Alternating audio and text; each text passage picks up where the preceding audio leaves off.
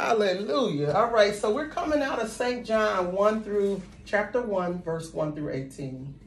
All right, so let's start over. In the beginning was the Word, and the Word was with God, and the Word was God. The same was in the beginning with God. All things were made by him, and without him was not anything made that was made. In him was life, and the life was the light of men. And the light shineth in darkness, and the darkness comprehended it not. There was a man sent from God whose name was John. The same came for a witness to bear witness of the light, that all men through him might believe. He was not that light, but was sent to bear witness of that light. That was the true light, which lighteth every man that cometh into the world. He was in the world, and the world was made by him, and the world knew him not. He came unto his own, and his own received him not. But as many as received him, to them gave he power to become the sons of God, even to them that believed on his name, which were born not of blood, nor of the will of the flesh, nor of the will of man, but of God. And the Word was made flesh and dwelt among us, and we beheld his glory, the glory as of the only begotten of the Father, full of grace and truth. John bare witness of him and cried, saying, This was he of whom I spake. He hath he that cometh after me is preferred before me, for he was before me. And of his fullness have all we received in the grace for grace. For the law was given by Moses, but grace and truth came by who? Jesus Christ. No man have seen God at any time.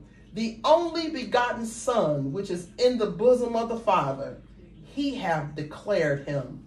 May the Lord add a blessing to the reading and the hearing of his holy word. Amen. Amen. Hallelujah. So we're talking about Jesus Christ here. We're talking about Jesus was the word that was made flesh that dwelt among us. He was in the beginning before the world was even created, wasn't he? Mm-hmm. So we're going to go through this word and we're going to consider too that even in the last days, John the Baptist preached Jesus Christ before his ministry began on earth. John the Baptist was the one who prepared the way for the Son of God. He prepared the hearts of the people and prophesied basically that is one greater than I who's come in the shoes you can't even tie up. So John the Baptist prepared the way of Jesus Christ. The end time preachers are preparing the way for Jesus' return. Do y'all believe that? Mm-hmm. End time preachers are. When we share this gospel of Jesus Christ, it is to let people know he's going to come back for a church without spot, without a wrinkle, or any such thing. So here it is in St. John. He said, In the beginning was the Word. How was the world framed? It was framed by when God did what? Spoke.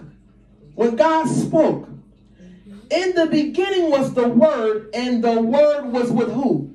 God. That means Jesus himself was there in the beginning because Jesus is the Word. He's the Word, y'all. He's the living, breathing epistle of Bible. The Word manifested on this earth. Yes. He was with God, and the Word was what? He was God. Mm-hmm. Father, Son, Holy Ghost, you can't split the three up. They're three entities in one. They come together and agree in one. Verse 2 said, the same was in beginning with what? It said it again. With God. Jesus Christ himself. I don't care who you are, what religion you are. If you don't acknowledge that Jesus Christ is Lord, that he's the Son of God, you don't have any part with God. Amen. Verse 3 said, All things, listen to this all things were made by him, and without him was not anything made that was made. So Jesus was in the beginning partaking in creation, y'all. Here it is in the word. He partook in creation. Without him, nothing that was made was made, the Bible is saying. Verse 4 said, In him was what? Life. What did the beginning in Genesis says? When God created man, he did what? The only way man became alive is what God had to do. He breathed. And the Bible said man became a living soul. There is no life without God himself, Jesus Christ, the Holy Ghost, those that Trinity. There is no life abiding in you without that. You're all considered dead. Look at this. In him was life, verse 4 said, and the life was the light of men. You, mankind would not even exist without God, the Father, Son, Holy Ghost. Because when he said it in the beginning, he said what? Let us. Who is us? Father, Son, Holy Ghost. In the beginning was the Word. Jesus is the Word. Yes. He was there from the beginning. We can't discount him. Just because he came on this earth to be born and walked in flesh does not mean that he's not the Son of God. Yes. You can deny him all you want, but you're still denying God the Father at the same time. You're denying the Holy Ghost. If you deny Jesus, you deny all three, basically. Yes. You can't separate them. Verse 5 said, He's the only way, ain't he? The light shineth in the darkness and the darkness comprehended it not. We're talking about the spiritual part of man, this world, this earth, how things are. When Jesus Christ came as the light of the world, the darkness around it didn't understand him, did they? You had these carnal minded people who did not understand what the purpose and what the life of Jesus Christ was about. Verse 6 said, here it is. There was a man, here's how Jesus got introduced, sent from God, his own cousin, John the Baptist, whose name was John. The same came for a what? A witness, just like Matthew, Mark, Luke, and John. To bear witness of the what? Light. Jesus was that light. That all men through him might what? Believe. Believe. There is no other way. Jesus said, I am the way, the truth, and the life. No man shall come unto the Father but by me. These scriptures wrapped together. He is the Word, living, breathing Word. Hallelujah. You cannot get through the door unless you come through the Son of God. Look at this. Verse 8 said, He was not that light. So we're talking about John. But was sent to bear witness of that light. John the Baptist had a job to make straight the way of the Lord, to tell people there's one greater than I who's coming. John the Baptist had his own ministry preaching about Jesus. He baptized with water. But he also told the people there's one greater than I who's coming who's going to baptize you with fire yeah. in the Holy Ghost. Yeah. I can't do that. I can't do that. Because Jesus was full. He was a child of the Holy Ghost. He was full of the Holy Ghost, y'all. There was, there was no part of him that had a fleshly father. His father was in heaven. Well, see, we're teaching on this because people don't understand it. People don't understand the dynamics of who Jesus is, the relationship that he has with the Father. I understand that people have read that Jesus have said, I the Father is greater than I. But if he was there from the beginning, spiritually, that lets you know what level of power he has. He has a level of power with the Father and with the Holy Ghost. Look, verse 9 said, That was the true light which lighteth every man that come into the world.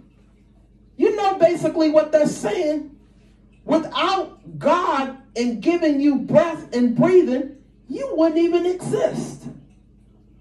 He's the light that allows man to live and to breathe and to walk this earth and to move through this earth. It's only through Jesus Christ. If he said, I am the way, the truth, and the life, life abides in Jesus Christ. You wouldn't be alive without this, the Spirit of God. You would not be alive. Steve always said it. Duracell battery ain't wake us up this morning. Yes. How do you control your heartbeat?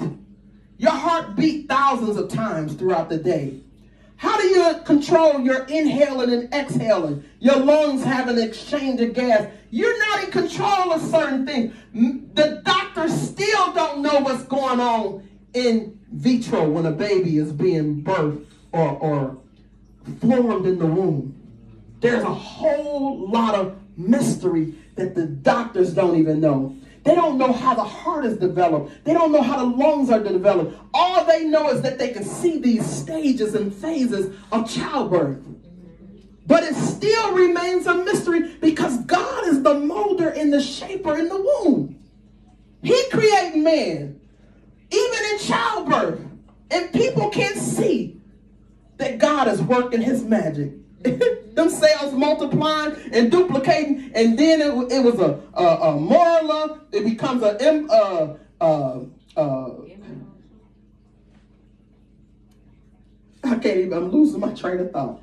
But the stages of childbirth, they call it a blastocyte, then it starts multiplying. It, it got phases and names that these doctors are giving, but they don't even understand what's going on, how the eyes are forming. The baby looked like a frog, a tadpole in the belly. Then all of a sudden, he's growing a spine. His heart is beating before his body is even formed. The mystery that God is doing work in that womb. Ain't nobody, listen, God's hand is in the midst of childbirth, y'all. Don't y'all think it's not? Yeah. He's doing the molding and the shaping. God is. No man is doing that. Things work by the hand of God. Life exists in Jesus Christ. Verse 10 said, He was in the world. Who we talking about? Jesus. He was in the world, and the world was made by him. Do y'all hear this? Who was the world made by? Jesus. Jesus. And the world didn't know him. The Bible saying this. The world knew him not. He had to be introduced to the world. Now look at this. Let's go to verse 11. He came unto his own, and his own received him not. The Bible said the earth is the Lord's and the fullness thereof, the world and they that dwell therein. You were bought with a price. Mm-hmm. God owns you. You don't own yourself. This scripture here is saying that Jesus came into his own. The very things that he created, the very beings that he created, and they didn't even receive him because they didn't know him. Right. Ain't that something deep? Somebody you created and made, not because you in a fleshly body and they don't understand who you are and what level of power you come from. They looking at you like, you look like me. And you ain't no different. You the carpenter down the road belong to Mary and Joseph. Mm-hmm. Oh my goodness. Jesus went through so much on this earth. Verse 12 said, But as many as received him, to them gave he power to become the sons of God. That's us, y'all. When we receive Jesus Christ as our personal Lord and Savior, we're now sons. Sons means sons and daughters included. We are the children of God. He give us power to become the sons of God. Even to them that believe on his what? Name. We must believe in the name of Jesus. That's in verse 12. To them that, be, that believes on the name of Jesus. We are his children, the sheep of his pasture, sons and daughters of God. Verse 13 says, which were born not of what? Blood that's why you must be born again. You cannot be born just in the natural. You have to have a spiritual birth to belong to the family of God, y'all. Verse 13 says, which were born not of blood, nor of the will of the flesh, nor of the will of man, but of who? God. The only way you can get into this family is by accepting Jesus Christ as your personal Lord and Savior. Verse 14 said, And the Word, we're talking about who? Jesus. The Word was made flesh and dwelt among us. And we beheld his glory. I mean, we was amongst him. We was in the presence of the glory of God. The glory of the only begotten of the Father, full of grace and truth. He was begotten of the Father. The Father is not, Jesus came out from the Father. There's an equivalency there. God is not, uh, if Jesus begotten of the Father, there's an equivalency there. If God produced something that come out of himself, that's still God. Y'all follow what I'm saying? Ain't no big God and little Jesus, no. He came, he was begotten of the Father. He came out of the Father, and there was nothing that was minimal about Jesus coming out of his own Father. There's an equivalency there. People get it twisted.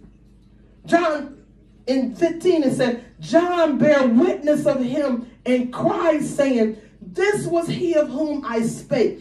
He that cometh after me is preferred before me, for he was before me. John is testifying. Listen, you might see him in a fleshly body, but this is the Son of God. I am preparing the way for him. He that is coming after me, he's preferred before me because he was there from the beginning of time, y'all.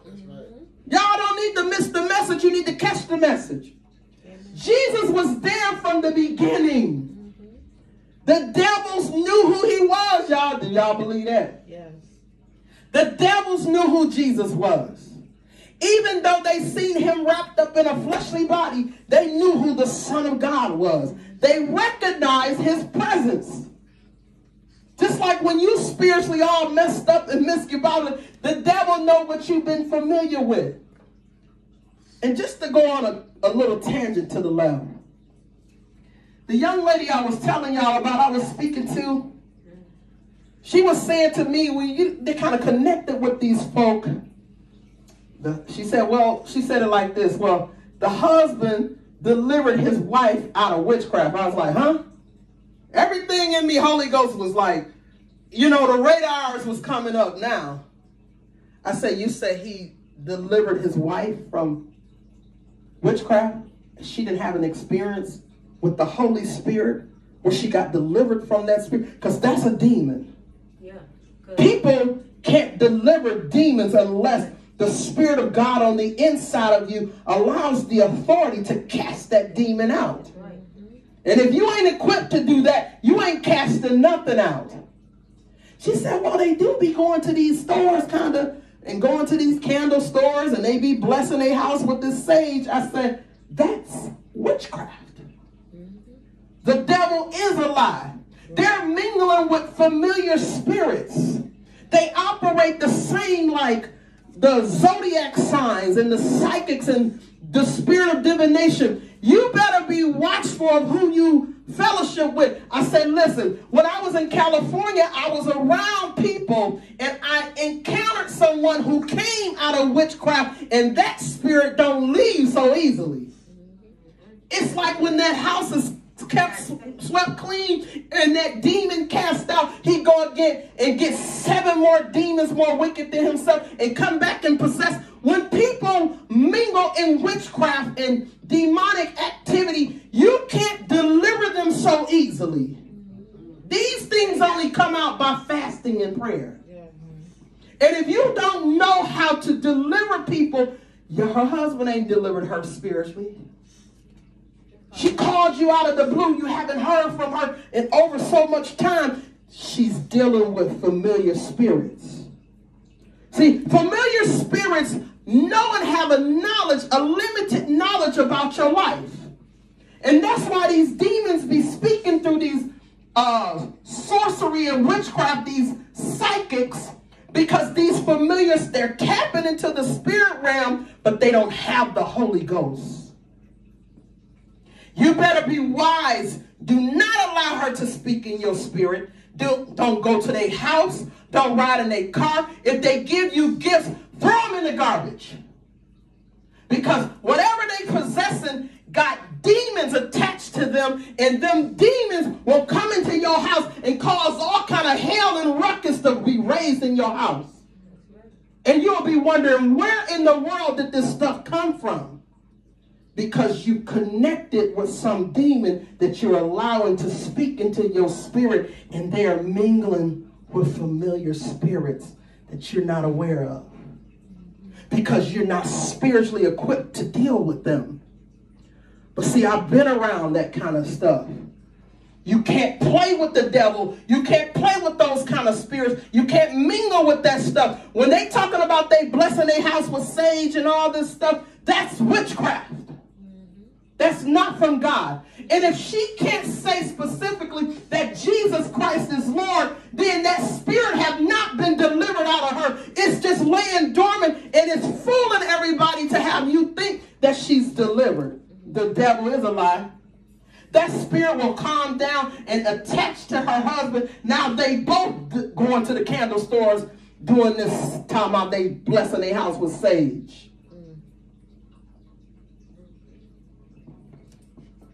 The devil is slick. Pastor Winfield always say he crafty. And he is. And you ain't smarter than him unless you got the Holy Ghost.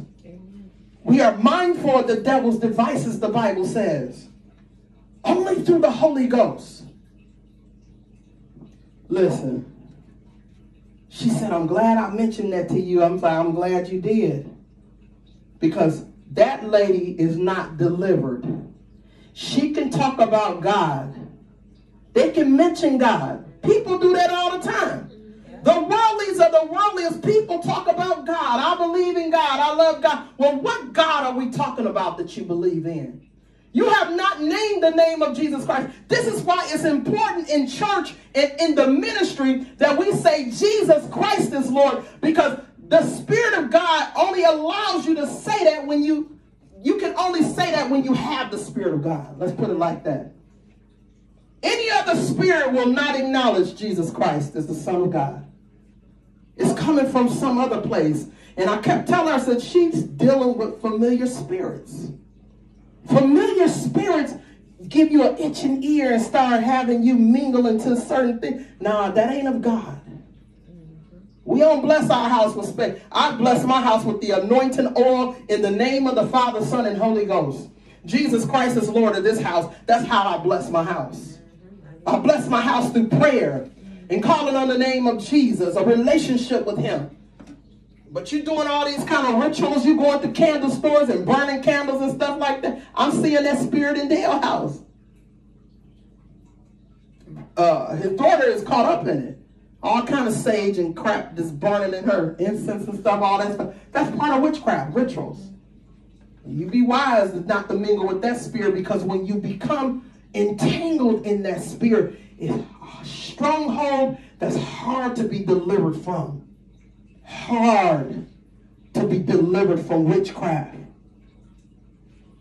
Look, verse 16 said, You right, Lisa, stay in prayer. And of his fullness have all we received, and grace for grace. Thank you, Jesus.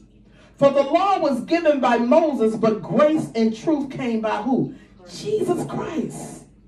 He said, I am the way, the truth, and the life. My grace is sufficient for thee. My strength is made perfect in your weakness.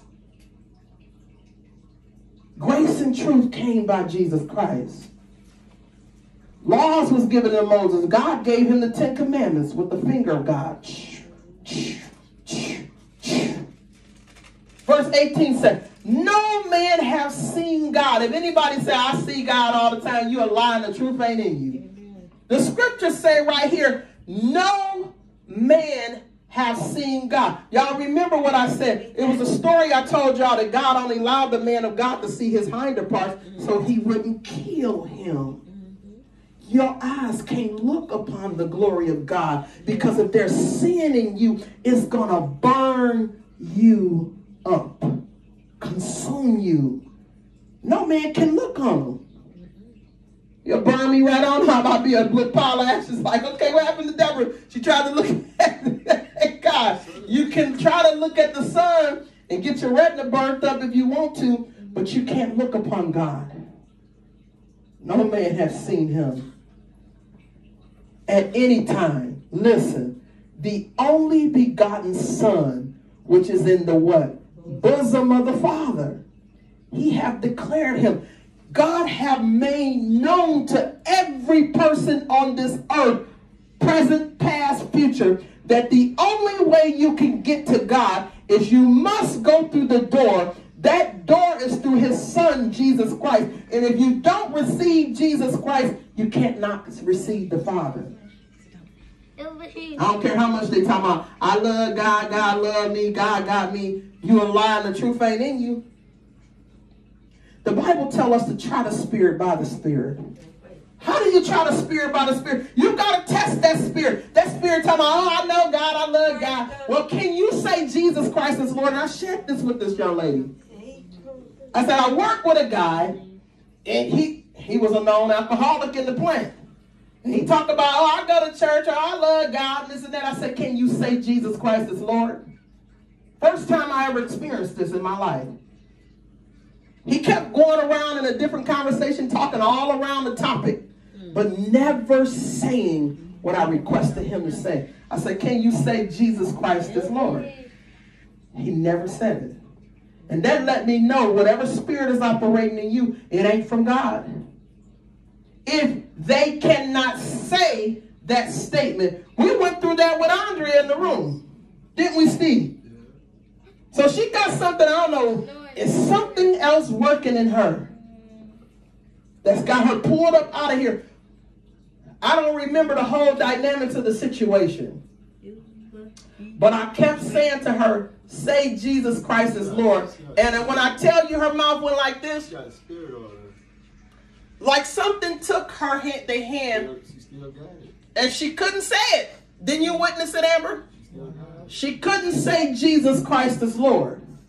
That spirit has driven her out of here. She'll sit here, and, and, and the spirit, whatever is operating in it, will allow her to sit around and, and listen to the word.